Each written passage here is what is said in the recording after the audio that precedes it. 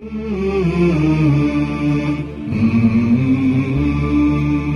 السطور لطائف النفحات. تزكي النفوس بأعبق البركات. تحيا العقول إذا أنار طريقها.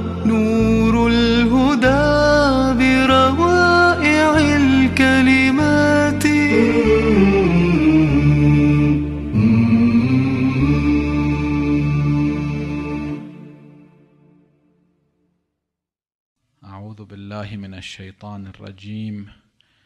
بسم الله الرحمن الرحيم. الحمد لله رب العالمين. والصلاة والسلام على سيدنا ونبينا محمد وآله الطيبين الطاهرين.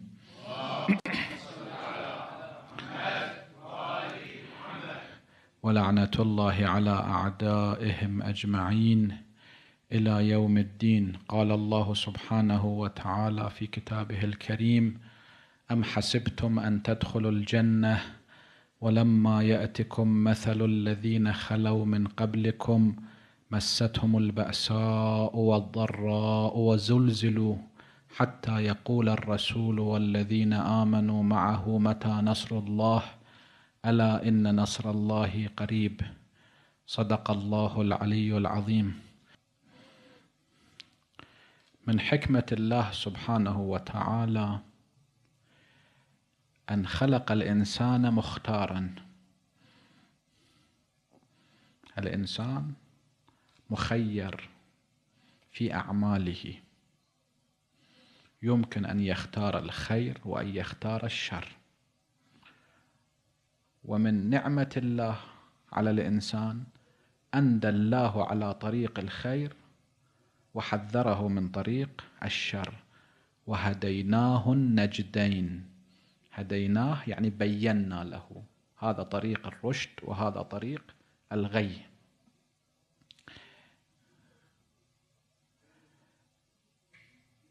زين.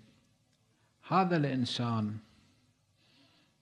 باختياره إما يختار الحسن وإما يختار السيء. واحيانا الإنسان غافل عن نفسه. أكو بعض الأحيان الإنسان يتصور نفسه شجاع.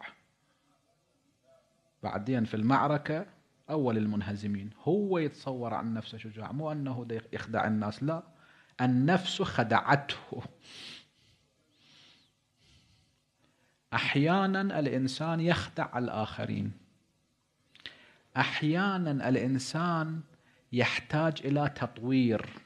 هو على الطريق الصحيح لكن يحتاج أن يتطور في ذلك الطريق.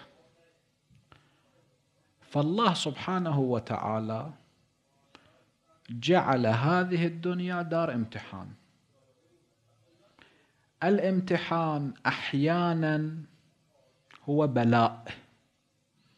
البلاء شنو هو؟ هاي الكلمة سامعيها يقولون ثوب بالي. ثوب بالي هذا الثوب اللي صاير عتيق جدا بحيث أنه مثل التور صاير يرى ما تحت ذلك الثوب. البلاء من هذه المادة يعني الشيء الذي يبين حقيقة الإنسان. حقيقته هو حقيقة مؤمن لو لا؟ وقت الادعاء كلنا ندعي. وقت الكلام كلنا نتكلم. لكن وقت الحقيقة والامتحان عند الامتحان يكرم المرء أو يهان. زين هذا الإنسان الذي يتشهد الشهادتين بلسانه ويظهر الإيمان بالله وبرسوله هل هو صادق أو هو منافق؟ إذا ماكو امتحان يوم القيامة الله سبحانه وتعالى إذا عاقب المنافق المنافق يقدر يعترض. أنت ردت مني أصلي؟ صليت. ردت مني صوم؟ صمت. ردت مني أن أتلفظ بالشهادتين؟ تلفظت. على أي أساس أدخل الجنة؟ الله سبحانه وتعالى يقول في القرآن قل فلله الحجة البالغة. الله سبحانه وتعالى له الحجة يوم القيامة أهل النار لا يتمكنون من أن يحتجوا أنه إحنا ليش ألقيتنا في النار؟ أكو في الحديث الشريف ما من أحد يدخل النار أجارنا الله وإياكم من نار جهنم إلا وهو يقر بأنه يستحق هذه النار. مثل فد مجرم في المحكمة يقر يقول إي أنا أستحق أشد أنواع العذاب. أكو مجرم ما يقر لا دائما إلى اللحظة الأخيرة ينكر.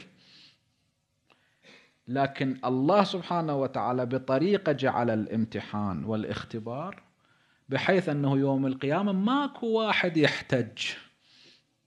ماكو واحد دخل جهنم إلا مقرا بأنه يستحق النار. وفي المقابل ماكو واحد يدخل الجنة إلا وهو يقر بأن دخول للجنة بفضل من الله سبحانه وتعالى مو باستحقاقه. إحنا لا نتصور أن الجنة باستحقاق إذا كنا مؤمنين. إذا واحد طول حياته قضاها بالصلاة والصوم والعبادة والطاعة هو ما يستحق الجنة بعمله. ليش؟ لأن الله سبحانه وتعالى غمرنا بالنعم وإن تعدوا نعمة الله لا تحصوها. زين إحنا كل عبادتنا هي جزء قليل من شكر النعمة بعد ما نستحق شيء. إذا واحد أكرمك وأنت قلت له شكرا على هاي كلمة شكرا. تطلب الشيء بعد؟ إذا واحد أكرمك. الله سبحانه وتعالى خلقنا وغمرنا بالنعم. هسه إذا إحنا صلينا صمنا حجينا كنا على الطريق المستقيم. زين هذا أقل الواجب من شكر نعمة الله.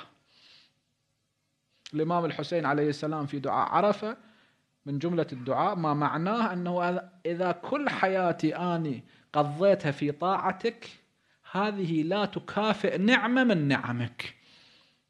فإذا الله أدخل المؤمن الجنة بفضل منه مو باستحقاق هذا المؤمن. زين. فلأجل أن الحجة تكون بالغة واحد يوم القيامة لا يحتاج على الله سبحانه وتعالى كان البلاء. في البلاء يعني هذا الشيء الذي يظهر باطن الإنسان. مؤمن لو منافق. صادق لو كاذب.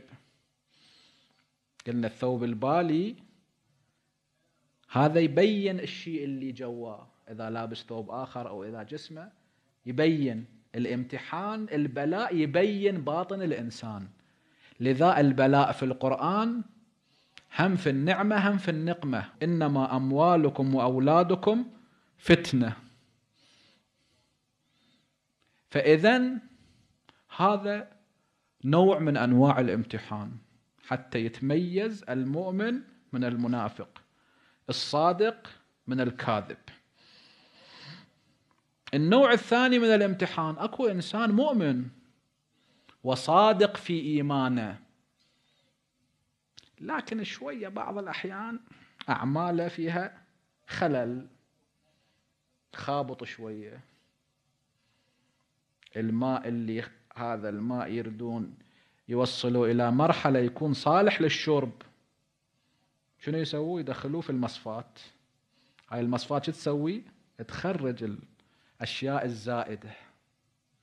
أكو واحد هو مؤمن صادق في إيمانه كلامه هم صحيح. في الجملة هم ملتزم بس بعض الأحيان شوية زايدة وناقصة عنده. ولا يخلو أكثر المؤمنين من ذلك. هنا نوع آخر موجود من الامتحان حسب التعبير القرآني يسمى تمحيص. التمحيص شنو هو؟ في المعنى اللغوي التمحيص الذهب. إذا ألقوه في هاي البوتقة اللي الصاغة يذوبون بها الذهب هسه هذا ذهب مخلوط لو مو مخلوط بيه شوية أشياء زائدة لو ما بيه أشياء زائدة عندما يذوبوه شنو يصير؟ ينفصل هذا الشيء المغشوش من الذهب الخالص. هذا يسمى تمحيص في اللغة. يعني إلقاء الذهب في هاي البوتقة اللي تذوبه حتى ينفصل منه الشوائب اللي علقت به. أكو أحيانا واحد مؤمن شوية زائدة ناقصة عنده. الله سبحانه وتعالى. يمتحن هذا الإنسان ببلايا في الدنيا ومصائب حتى هاي الأشياء اللي عالقة هاي الشوائب هاي الوساخة اللي ملزقة بيه هاي تنفصل عنه.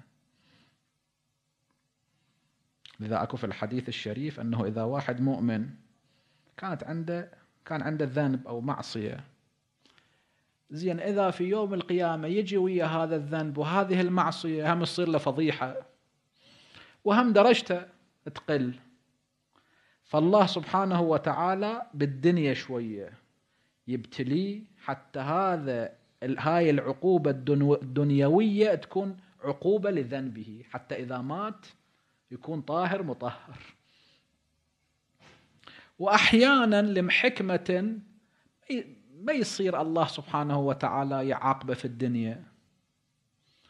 أو شوية ذنوبه أكثر من أن يكون عقاب الدنيا عقاب لتلك الذنوب. بعض الأحيان الذنب ما له عقاب إلا في الآخرة. يعني حتى كل مصائب الدنيا لو تنزل على واحد هذا ما يكون كفارة لذنب من ذنوبه أحيانا.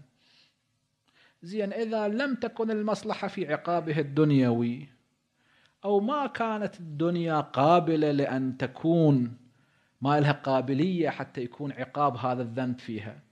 بالحديث الله سبحانه وتعالى يشدد على هذا المؤمن في ساعة الاحتضار.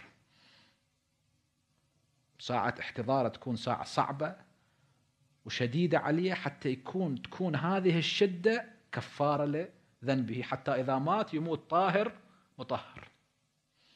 زين أكو بعض الذنوب. هاي هم ما يفيدها الشدة في ساعة الاحتضار. الله سبحانه وتعالى في القبر. أكو بعض أنواع العذاب في القبر. هذا يصفي المؤمن. حتى إذا اجى يوم القيامة يجي طاهر مطهر. وأحيانا هم ما يفيد عذاب القبر. الله سبحانه وتعالى في المحشر.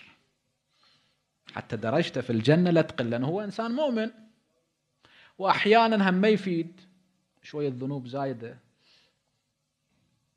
فالله سبحانه وتعالى يعاقبه في جهنم. هسه إلى أن تشمل الشفاعة بعد ذلك يخرج من نار جهنم إلى الجنة. ماكو مؤمن يموت إلا وهو من أهل الجنة. لكن متى يدخل الجنة؟ والشفاعة حق. ماكو واحد من عندنا حتى لا أكبر المؤمنين إيمانا. كل حياته قضاها بطاعة الله. ماكو واحد من عندنا يدخل الجنة إلا بشفاعة محمد وآل محمد.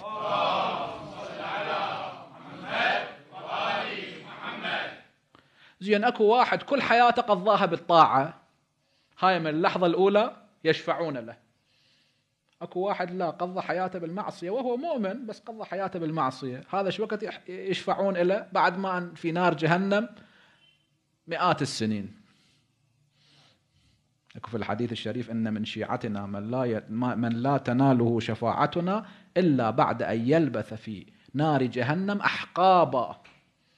كل حقبة ثمانين سنة لابثين فيها أحقابا. زين أكو واحد يقول شفاعة أهل البيت تشملنا إيه شفاعة أهل البيت تشمل المؤمن الذي يموت مؤمنا.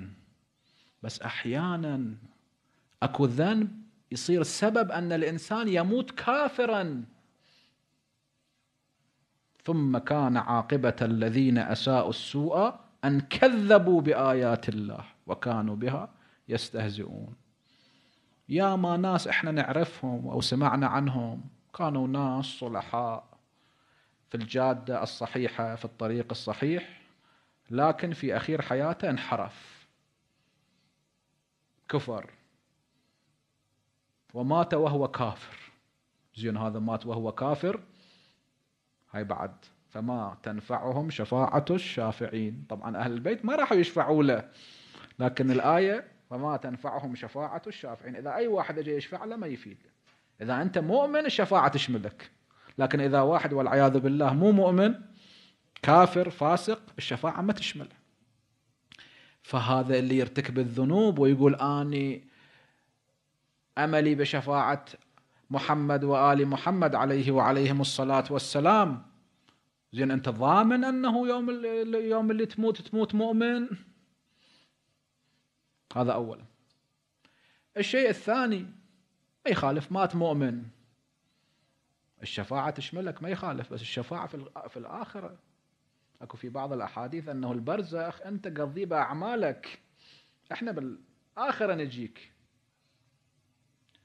وزين هسه شف... شملت الشفاعة بس الفضيحة شو يسويها؟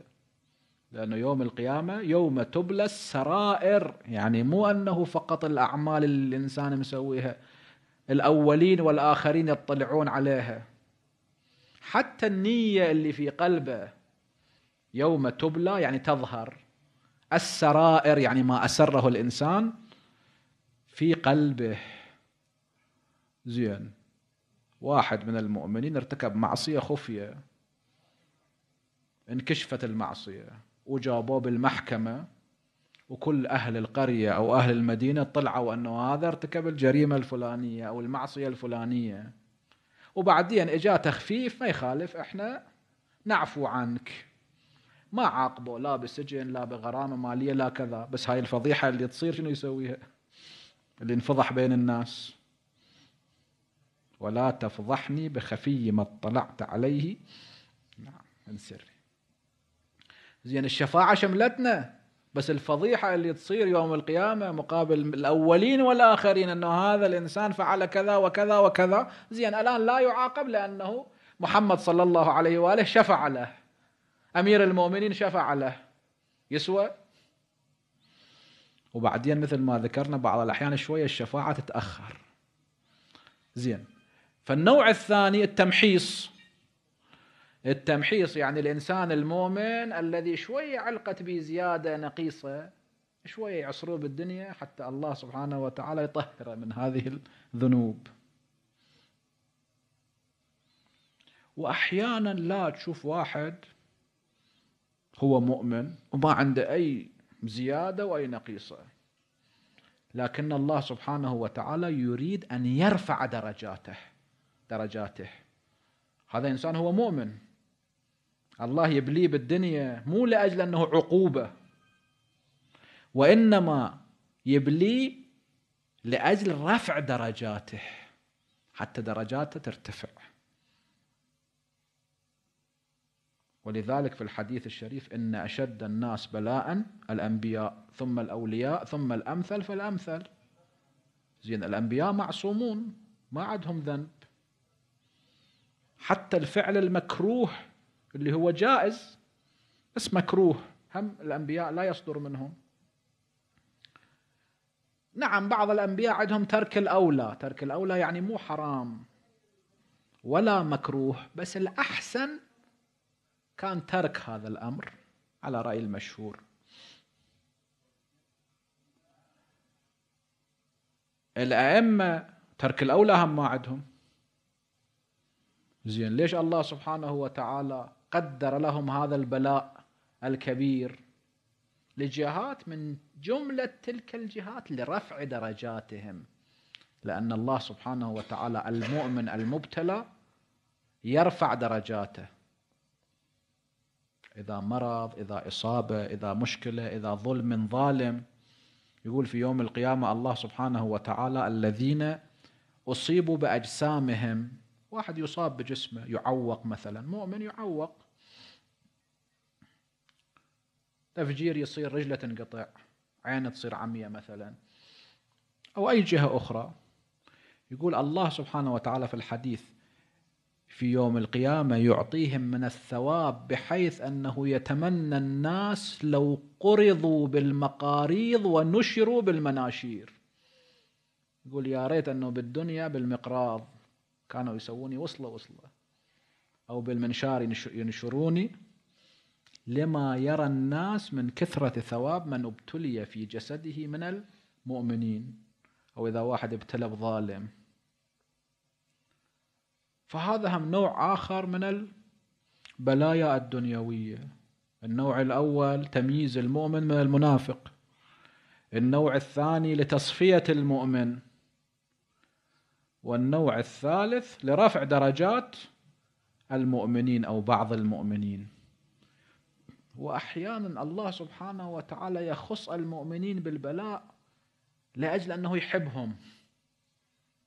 وفد واحد من العلماء كان يمثل مثل يقول أنت دا تمشي بالشارع شفت أجلكم الله فد واحد من أبناء الشوارع دا يسوي عمل قبيح ما تدير له بال. لكن إذا ابنك سوى نفس العمل شو تسوي؟ تضربه وتأدبه. شنو الفرق؟ تقول ذاك ما يهمني هذا ابني يهمني. إذا فد كافر ارتكب معاصي. هذا هذا أخيرا إلى النار. لذلك الله لا يبالي. لكن إذا مؤمن ارتكب معصية الله يعاقبه لأن الله يحبه يريد يصفيه. لذا تشوف أنه الكفار عادة في نعمة والمؤمنون عادة في بلاء. أكو في الحديث الشريف أن الدنيا ما لها قيمة عند الله. لو كان للدنيا هذا نص الحديث لو كانت للدنيا قيمة عند الله بمقدار جناح بعوضة بقى شنو هي قيمتها؟ حتى جناحها يكون له قيمة. عند الله الدنيا لا قيمة لها ولو بهذا المقدار. لو كانت لو كان للدنيا قيمة عند الله بمقدار جناح بعوضة ما سقى فيها كافرا. إذا تشوف الكفار منعمون ويأكلون كما تأكل الأنعام كما في الآية الشريفة لأن الدنيا ما لها قيمة عند الله. هسه هذا كافر ما له قيمة؟ يستفيد من الدنيا اللي ما لها قيمة مو مهم. لكن الآخرة الجنة الله سبحانه وتعالى أعطاها القيمة لها قيمة الآخرة الجنة يعني. لذلك الجنة دار كرامة. لذا؟ لهم دار السلام عند ربهم. الجنة ما فيها أي شيء ينغص عيش الإنسان. يوم القيامة هي يوم الحسرة وأنذرهم يوم الحسرة. كل إنسان حتى المؤمن يتحسر لأنه يشوف كانت فرص طاعة عنده لله فوتها. فكل إنسان يتحسر.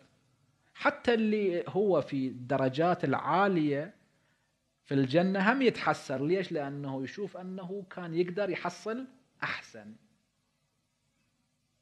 أكو في بعض الكتب التفسيرية أن ذا القرنين اللي هو عبد من عباد الله الصالحين إنا مكنا له في الأرض وآتيناه من كل شيء سببا فأتبع سببا حتى إذا بلغ مغرب الشمس إلى آخر الآيات في سورة الكهف. فهذا سار في الأرض وفتح الدنيا كلها. وصلوا إلى مكان مظلم هسه ما أدري كان غار ليل كان فجو أرجلهم أكو حصات بس ظلمة ما يشوفون. فالخضر عليه السلام قال لهم اللي يشيل من هذه الحصيات شبيه حصوة كانوا اللي يشيل منها يتندم واللي ما يشيل منها هم راح يتندم. قسم شالوا وقسم ما شالوا. عندما جازوا ذيك المنطقة عبروها راحوا إلى منطقة أخرى فيها شوية نور أو عندما طلعت الشمس شافوا شافوا هاي كلها مجوهرات. يعني كل هذا الحصى اللي كان جو رجلهم كان جوهر. اللي ما شال تندم. ليش ما شال؟ واللي شال هم تندم. ليش أكثر ما شال؟ يوم القيامة بهالشكل الكافر يتندم المؤمن هم يتندم. ليش أكثر ما عمل بالصالحات؟ ليش فوت فرص كان يتمكن بتلك الفرص أن يحصل الآخرة أكثر. واحد ده يشتغل. زين أنت تشتغل. اذكر الله سبحانه وتعالى. قل لا إله إلا الله. عندنا في الذكر يسموه الذكر الخفي. ما بحرف من الحروف اللي تتحرك به الشفاه. لا إله إلا الله. هذا الذكر الخفي يسموه. إذا أنت قاعد تقول لا إله إلا الله لا إله إلا الله لا إله إلا الله ما حد يلتفت لأن الشفة ما راح تتحرك. أبعد عن الرياء وهو أفضل الأذكار. زين أنت سائق سيارة سائق تاكسي مثلا سائق كية دا تكد على عيالك خو أنت دا تمشي قول لا إله إلا الله. يوم القيامة تتندم أنه لماذا لم أقل لا إله إلا الله؟ لأن هاي لا إله إلا الله تكون شجرة في الجنة مثلا درجة في الجنة. على كل حال الإنسان في يوم القيامة يتحسر وأنذرهم يوم الحسرة. لكن إذا دخل المؤمن في الجنة في الجنة ماكو منغصات. زين؟ لهم دار السلام. الجنة كلها طهارة. ما بيها حزن ما بيها خوف. زين هذا المؤمن اللي درجته أعلى والمؤمن اللي درجته أدنى. المؤمن اللي درجته أدنى ما يدري ذاك المؤمن درجته أعلى. حتى لا يتحسر. لذا أكو في الروايات أن المؤمنون يتزاورون في الجنة على سرر متقابلين. لكن الأعلى يجي إلى الأدنى يزوره. أما الأدنى ما يروح للأعلى لأنه لو راح للأعلى يشوف نعيم أكبر راح يتحسر. والجنة ما بيها. أي شيء ينغص العيش. يوم القيامة يوم الحسرة. هسه خمسين ألف سنة الإنسان يتحسر. إذن إحنا علينا أن نستثمر الفرص في طاعة الله سبحانه وتعالى.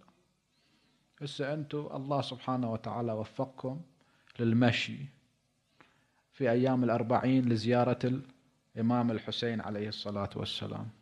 أكو في بعض الروايات إذا واحد زار الإمام الحسين ماشيا زين أجرى ثواب حجة في رواية أخرى حجة وعمرة. في رواية ثالثة عشر حجج. في رواية رابعة مئة حجة في رواية خامسة ألف حجة في رواية أنه إذا رفع قدما كتبت له حجة وإذا وضع قدما كتبت له عمرة. ذول اللي يمشون من البصرة تقريبا ستمائة ألف خطوة تقريبا. زين يعني ستمائة ألف حجة وستمائة ألف عمرة. ليش هالشكل؟ يعني في رواية حجة واحدة في رواية حجة وعمرة في رواية عشرة في رواية مية في رواية ألف.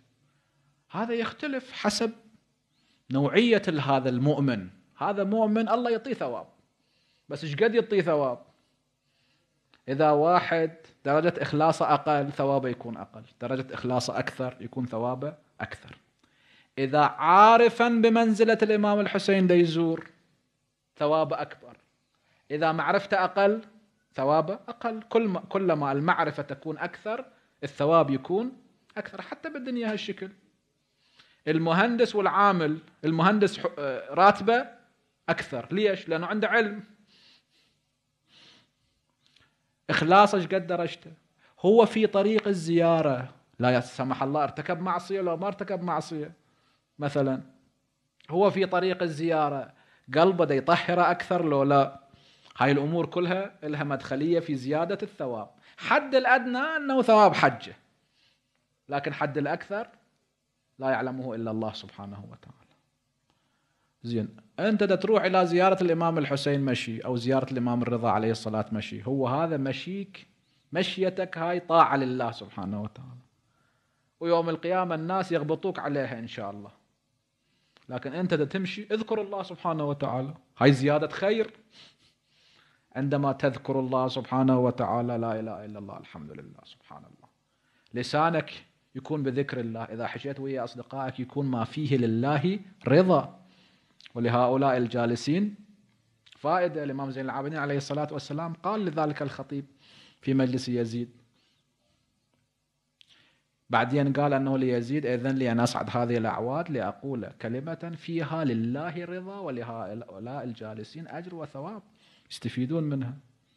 إذا هم ويا صديقة صديقك تتكلم مرة واحد يتكلم كلام ما بي فائدة. هذا يوم القيامة حسرة يكون. مرة يكون غيبة تهمة وهاي الحسرة أكثر. ومرة هم يكون لا كلام إصلاح ذات البين بي بفائدة للدنيا بفائدة للآخرة. مثلا حتى إذا يتمازح مفاكهة تكون ممازحة ضمن الضوابط الشرعية يفرح صديقه. مو مشكلة هذا هم زين بيه ثواب. يحاول أنه كل ما يتمكن يستفيد أكثر مثل قصة الخضر وذي القرنين. كل ما تقدر تشيل ذهب وجواهر ومجوهرات يكون بصالحك أكثر ويوم القيامة تكون أنت عند الله سبحانه وتعالى يكون عندك منزلة وجاه. نسأل الله سبحانه وتعالى أن يتقبل أعمالكم وزياراتكم وأن يوفقكم للاستمرار. الاستمرار كلش مهم. بعض الأحيان الإنسان يبدأ صحيح بس بعدين يتعب. ويوفقكم جميعا وإيانا معكم. الاستمرار حتى إذا جاءنا ملك الموت نكون من مصادق هذه الآية ولا تموتن إلا وأنتم مسلمون. أكو في الحديث الشريف هذا نختمه الكلام بهذا الحديث الشريف أنه أي واحد عندما يموت سواء كان مؤمن أو منافق أو كافر هذا يحضر لحظة احتضار أمير المؤمنين ورسول الله عليهما وآلهما الصلاة والسلام. هم الرسول يجي هم أمير المؤمنين. مؤمن لو كافر ماكو فرق.